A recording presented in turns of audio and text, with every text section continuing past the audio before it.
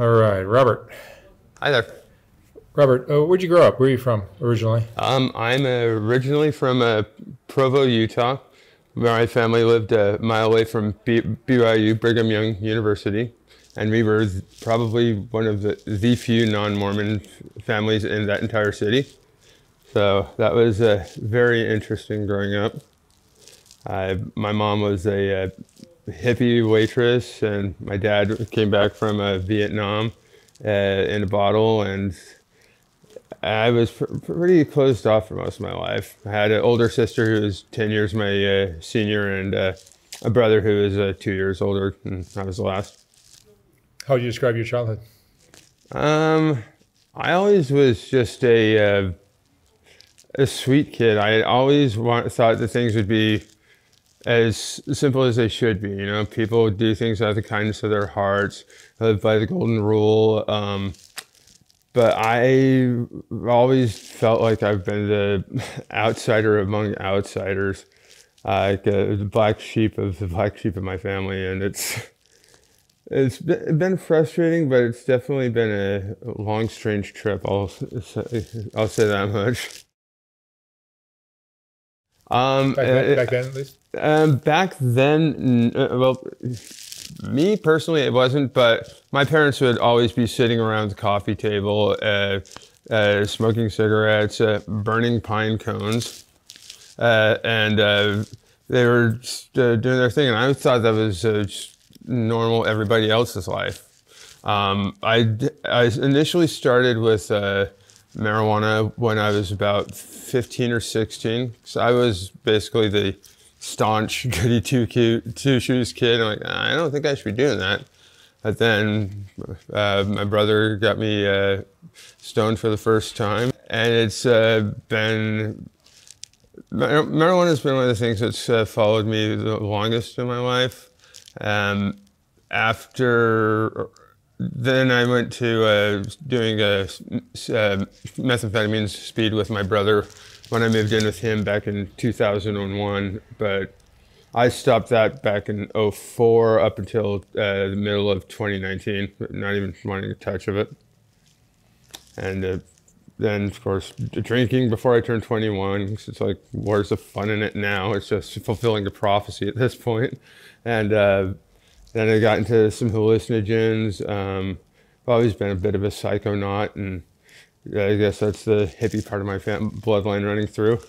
Um, uh, yeah, outside of that, um, I haven't really, I don't do any of the opiates, uh, nothing with needles. Um, yeah, I don't do prescription pills either after living with my mom, but unless I'm like dying or a doctor's shoving it down my throat, I'm like, yeah, I'm cool. How'd you end up down here? Um, I moved out here back in uh, 2006 uh, when the job I was working at was getting ready to phase out my position. I worked for the college that I graduated from. I put myself through a, uh, a tech school for uh, uh, computer sciences, and I had my degree before I even owned a freaking computer. So um, that was uh, that was good. yeah, I moved out here with my girlfriend at the time, we met and did the long distance thing for a bit, and uh, that really didn't work out. I kind of uh, cramped her style. Uh, she was a musical theater person, and uh, it was just uh, water and oil, to say the least. Um, but she was a she was a good person. Um, uh, yeah, I moved out here, worked for a private Jewish organization as their IT person for five years then moved over to their high school and junior high school for five years after that. Um, and are you Jewish? Uh, no, I'm not. I'm actually. I'm not really any religion uh, at all. I didn't. I didn't even know about religion until I was in like eighth grade.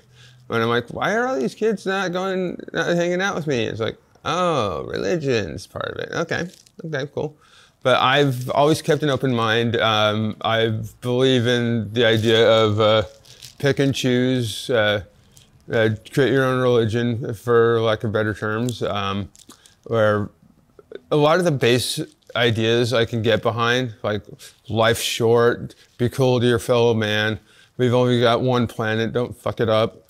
But it's to me, it's felt like all of the horrible things done in the name of God. And once man gets his hands on it, it's just like nothing more than a cudgel for uh, power and uh, control and money. Hmm.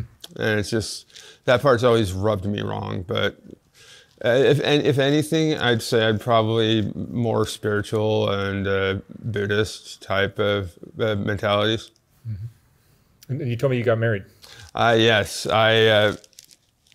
Uh, uh, when I was working at that the first school, the lady I moved out here with, she broke up with me rather harshly, and um, like a couple years down the road, she sends me out to this impact training course where they just uh, one of those five day crash course. We're going to get you all, all of your uh, childhood traumas taken care of.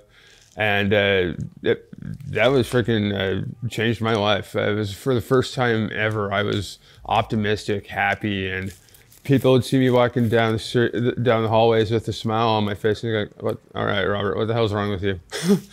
um, but I, it was then that I met my uh, ex-wife, now ex-wife, and she was a uh, kindergarten uh, co-teacher in the elementary school, and I, I've basically when I was in that training, we did a guided meditation of what do you want most in the world, put it out there, outlaw the secret, pretty much. And I'm like, I've always wanted a family. I want to be able to have someone to share my life with and the chance to be a father and be a better parent to my children than I had, obviously. And I was just gung ho, all uh, full tilt, let's do it.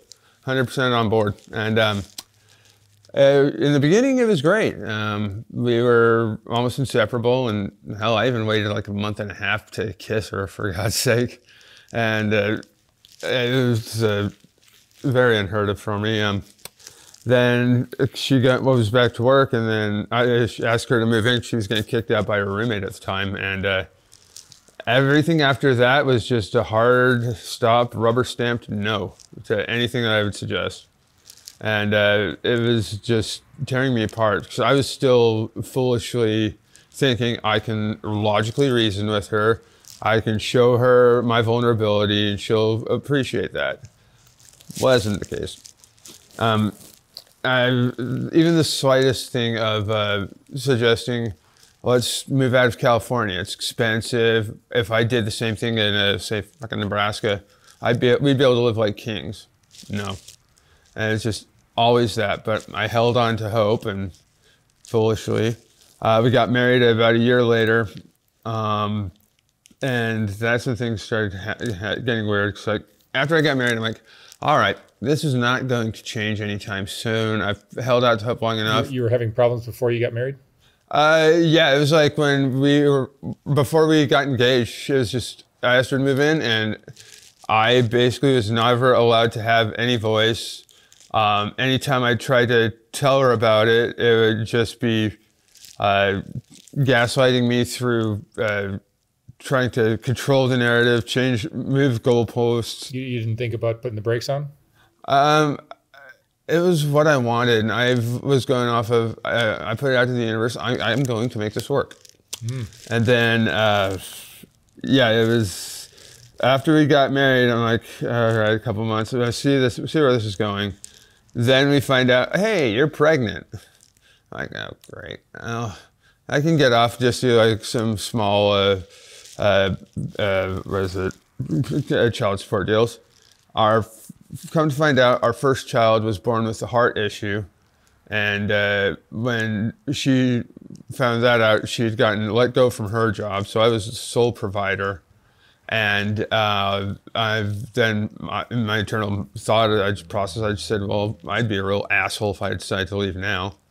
Uh, maybe we could work things out. And it was just always a one sided uphill battle with for me. And yeah, for like the first year, I couldn't do anything right in her eyes. I, I helped raise three of my nephews in Utah, but with my daughters, she had to have full iron control, and I just I was being micromanaged bad, badly, and then I just reclused away from that, went into work. Um, we had a, uh, uh, that was shortly after we got married. I we switched uh, campuses. She got fired, so I was in a new place. And then a year and a half later, we have our second daughter.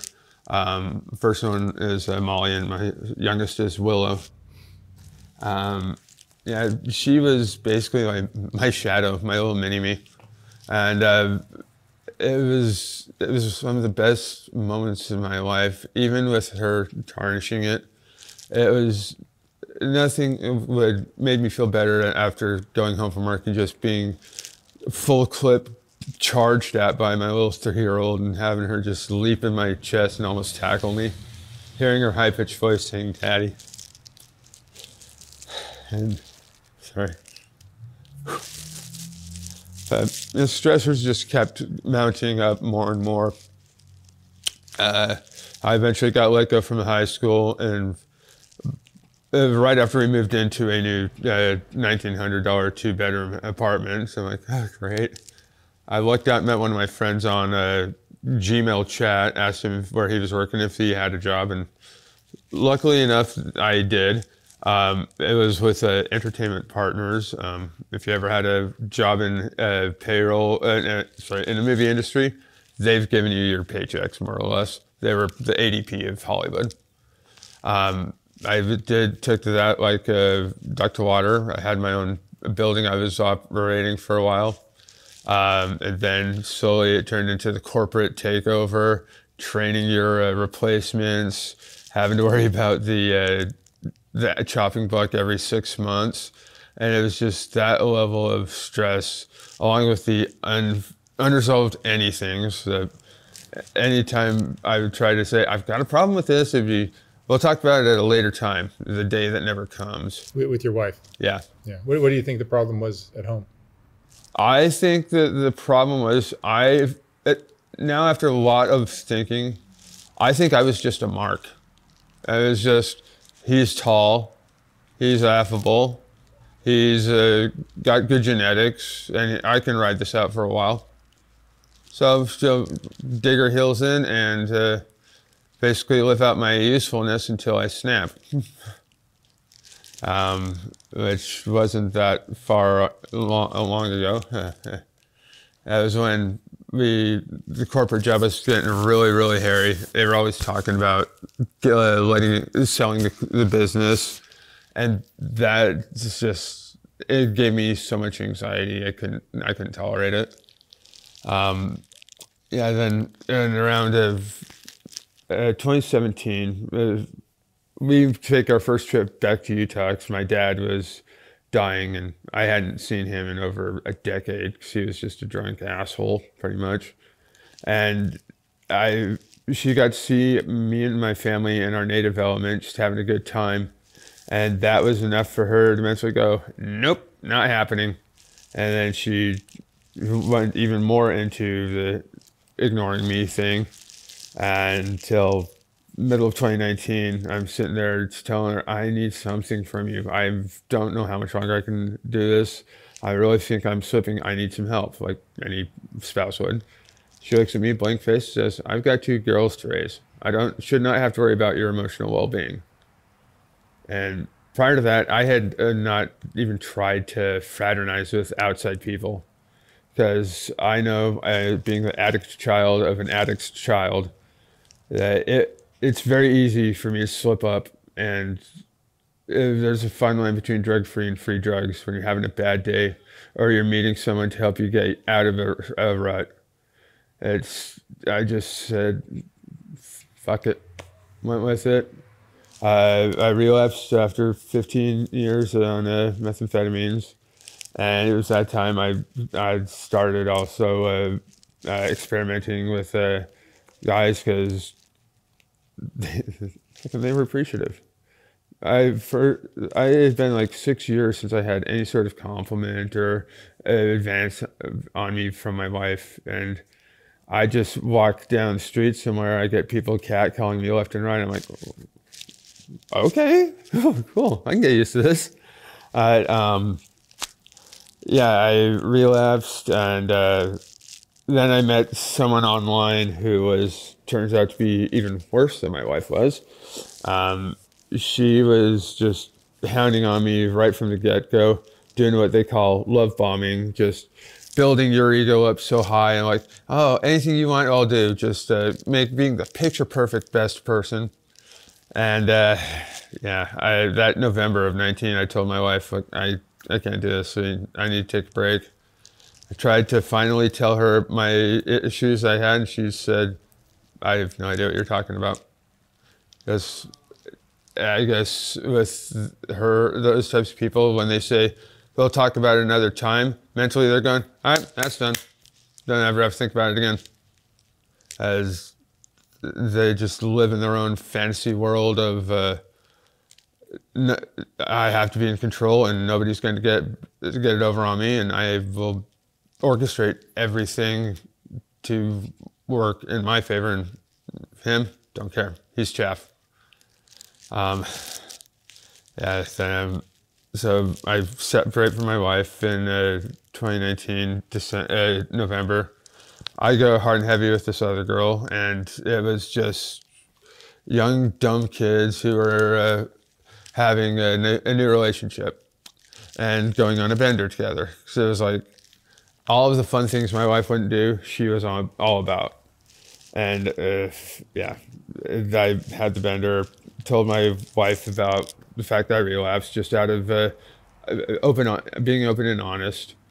And uh, 2020, 2020 happened, and then everything just went careening downhill. So January, I get kicked out of my apartment by my wife after she finds my phone, work phone. February, I try to leave the uh, rebound, and she says, "Oh, it would be a shame if cops were to come here and they would see all this stuff in this room that's on your name." Basically, emotionally blackmailing me, because I know anything on my record, I won't be able to see my kids. March, COVID happens, and that has been one of my things that I've been terrified of my entire life get sent to the hospital in April for an infection that I had in my brain. Find out I get furloughed in Mar in May. I get fired in July and end up totaling her uh, car because one of her wonderful things was telling me she would do something and then just incessant hours of arguing nonstop. Me just trying to talk her off the ledge and just back and forth. And I'm like, please just make this stop. What, what do you think the problem was with her? With her, she had extreme abandonment issues, um, where my wife was, I would say, a almost a malignant narcissist. She was a histrionic narcissist. She's one where she would just freak out over the smallest things. And it was just gaslighting to try to get me to snap and um, yeah, she came from like a, a well well off family, but she was the uh, the uh, the adopted child, not the na- natural child. So their parents had kind of had the looked at her in a bad light. Uh, yeah, after I lose my job, I total her car going up uh, Laurel Canyon, and uh, that next month, after my see my youngest uh, birthday in beginning of July, my wife says, I want you to meet us on Saturday at the park for a play date. So I hobble over there. I'm standing there waiting. And I see out of the corner of my eye somebody comes up to me, hands some papers to me. I like, uh, like I don't know what this is. So I said again, it says Bingham versus Bingham. I realized I had just been served and my wife wanted me to have nothing and she wanted to basically cleave all of our assets uh, which left me with nothing but her old raggedy ass car and then i was being sent to court and uh, i'm like I can't we just try to make this work try to reason with her say the kids need both of us and she immediately just went uh, cold lipped. Um, the entire case, the only thing they had against me was the fact I relapsed. And she tried to do three restraining orders, two of them with bullshit domestic charges. I hate conflict. I would never start a fight with anybody in the world. I when I hear people go above like a slightly agitated uh, speaking, I instinctively crumble.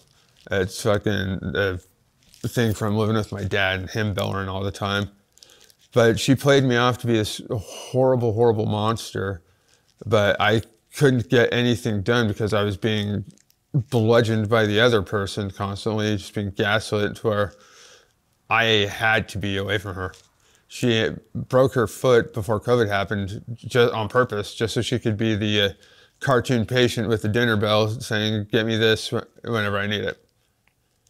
And yeah, that's when I went full bore into uh, being with guys because it's like if I have to be in a hotel room with that woman, one of us is going to be catching a charge, and I don't want to have to do that. I'm just saying, being with guys. It was uh, I had found out about the uh, like the apps online, and I realized that people were th- going gaga over me, and it was like this is something totally alien to me, and it's like I, I could be with people who actually want to get to know me or I can be here with a, a mixture of uh, Annie Wilkes from Misery and Tyler Durden from Fight Club. So it's like losing, changing personalities and just being super sweet to everybody else, but yeah, behind closed doors. Right, but you, when you say being with guys, you mean with uh, uh, uh, sexually. It was just uh, hooking up with them or meeting people or just having someone to talk to because a lot of the time I just needed to have somebody to vent with. Vent, vent with. And you started using what, what, what drug are you using now? Um, now I'm uh, I'm nearing the end of my uh, usage of uh, methamphetamines. I'm just I'm tired of it, and with all the fentanyl stuff going around there, I I, I don't I don't see the point in it, and I don't want to risk it because that shit's just evil. Right. How long you been using crystal meth down here? Um, I initially uh, three years for my first stint, 01 to 04, and then uh, the middle of 2019 until now. And you've been on the streets for how long? Um, I officially on the streets. It was uh, about two years now, because um, the person I met after my wife she got onto my lease at the hotel where I was blowing all my money just living there and got used my COVID money to be there for a year additionally. So I was, yeah, that place was uh, set in stone. And she'd tell me, all right, you've got until March, then everything, then you'll have to find a place. She leaves after stealing about $8,000 of mine after pulling out from my 401k and then I get a notice three days later. Yeah, we're going to be going back to daily uh, uh, rent uh, uh, payment. If you can't pay and you owe something, get out of here in two days and we'll write it off. And at that point, I'm my brain is fucking scrambled. I can't hardly function. I was a high level genius uh, growing up always and now I can barely uh, keep a steady thought or paperwork, following up with that stuff. No, it's almost impossible. And up until recently, anytime I'd hear a child or anything that reminded me of my daughters, I would just start sobbing uncontrollably from just PTSD. Do you speak with your daughters anymore? Um, I get. Uh, I'm supposed to have a couple hours on uh, Zoom with them, but my wife is uh, gatekeeping that uh, to the best of her abilities. And I have no idea what they're saying behind closed doors. To my guess, it's just nothing. They're left with whatever notions they had in their head. And uh, I bet my anything's mentioned about me, my wife goes into a hold breath, just you can feel the energy change, and the kids are like, all right, never mind. So I'm basically dead to her. Now that you're seeing men, do you have any interest in women anymore? Nowadays, I I naturally still love women, but the way things are going now, it's a rigged game, and having someone say, "So what do you do on a first date?" I just have to go, "All right, you have a good one, bye." it's like everybody's looking for a, a paycheck or a, a, a free ride, and it's just like, yeah, it's not not worth it, and just the evil, their ulterior motives that they usually hide behind are just too much for me. I can see through a lot of that toxic shit now, and it's just so prevalent. It's just like, it's not worth it. If somebody wants to get with me, fine. I'm always a loving person, and it's just. Do You find relationships with men more I, fulfilling? I I'm still haven't been able to do like a full textbook uh, relationship yet, but I, I find it significantly easier. It's like no bullshit. If you want, if someone seems cool, you talk to them. You don't fucking have to worry about hey, buy me a dinner, buy me a date. It's like no, it's just like hey, how's it going? What's up? Not much, and just carry it on. Nor, start chopping it up normally. As I, and, ch- and chopping it up just like uh, involves sorry. sex sometimes. No, no, y- yes, sometimes it's like with the guys. It's it's easy. You need a place, a pulse, a willing participant. A, hey, wink and a nod, and it's like, yeah, you're probably gonna have some fun. and, uh, uh, and honest, uh, additionally, around the time I started figuring out guys, I had used the apps as a springboard to get me into socializing. So I, for the longest, most majority of my life, I'd been a recluse. I had only did work, and I didn't really socialize with other people. So that's been one of the things that's helped me kind of keep my wits about me is just being able to um, uh, talk to people and get to know them. Uh, still, I'm going to eventually gum, it, gum up the works with a two by four through the spokes of me just being awkward and not knowing how the hell to finish the sentence. But uh, it's a, uh, it's been a, a renaissance at knife point, I like to call it. And how are you surviving? Uh, but by the grace of God and the kindness of other people right now. I'm on food stamps. Um, I'm practically broke. I've got like 10K left of my retirement, but that's in like a 10 year account. Um, yeah, it's just, I've got a couple of good friends that, haven't totally wigged out on me. As uh, prior, all my friends were at work, and once I got fired, it's like everybody vanished like a fart in the wind. And with me just being my wife and my family, and that was it for my out of work social life, it was just gone.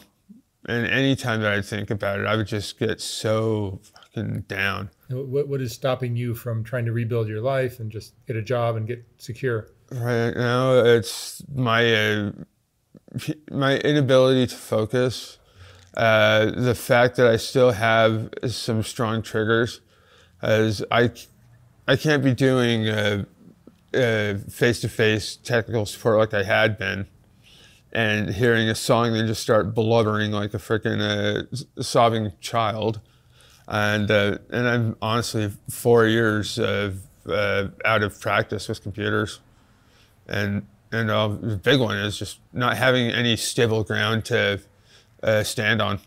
Is having to worry about where you're going to sleep every night. Yeah, you're on the streets. I, I'm on the streets, but I don't sleep on the streets. I've if, if I don't have a place to go, I will just walk.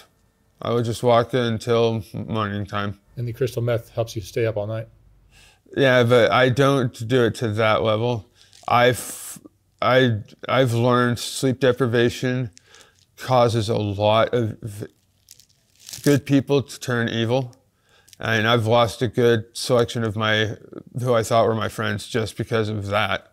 They would concoct something in their head that they were 100% sure of. And it's like, I don't know what the hell you're talking about. But I, and it's just like, get out of here now. I'm like, okay, cool. Have a, have a good one. Mm-hmm. Um, the, the, the boundary setting thing has been a, a, a constant challenge of mine. It's uh, always been difficult for me to say no to somebody, even if they've got like a sob story behind it. 'cause I'm I'm a freaking bleeding heart. I'm a fucking a, a natural empath. I walk into a room and I say, "All right," I can like instinctively feel what other people are feeling. If something's off, it's just it's a blessing and it's a curse. Do you have any regrets in your life? not listening to my gut, saying, putting my, not having enough self respect to end my suffering when I knew it was bad, and holding on to hope with the wrong people. I, yeah, it's have, wearing my heart on my sleeve. I was never a good thing, and I found out the hard way how bad it can get. And it just irritates the hell out of me because I know that after looking at everything, I all of my problems in my marriage were all caused uh, from her machinations, her inability to hear anything, or her fucking around behind the scenes, and uh, just her inability to own up and say, you know what, I did this. This was wrong. I saw how it made you feel this way. It's always just sorry or feigned ignorance or just a, the sheepish. oh. Do you do you take any responsibility for deciding to go ahead with the marriage when you saw signs before there were I, were I, married? I blame my naivete on uh, naivete and believing in the uh, manifestation principles at face value. How old, and not, how old are you uh, now? I'm 41. Forty-one. Yeah. And my girls are uh, 11 and 9, and it's been almost four years since I've seen them. And now, with the way the world's going, it's like a lot of things that I'm seeing and learning are terrifying me. And it's like, I want to be there for them. I've, as a man, as a father, you're there to provide and protect for your children at the very least. And it's like when you're being s- snowballed and ignored by someone who's just a thin ego trying to avoid reality at all costs. It's like you are really going to hold on to that. Well, I am desperately trying to help you guys, and it's it gets to be too much at, at times. As God damn it, I just wanted to fucking pee. If anything, I would have just loved to have had one more fucking hug for my kids. I'd walk away from it all if I could have that. I even told her, tell me what the hell I did wrong to piss you off. I will walk away. You can have whatever you want. And uh, what I got from her was, I can't help you heal that way. So it's just like, What, what do you think her complaints would have been about the relationship? Um, the only ones that I can recall were her calling me a coward for not uh, being brutal with the breakup as she was, and um, she would always say it was my uh, temper, but the only reason I had a temper is because of open wounds that were never allowed to heal that she would just constantly uh, pebble me with rocks and I'd just get to the point where I'd snap. And it was, that was never anything I liked. Knowing that I caused any three of them to ever cry. I hate it. And, uh,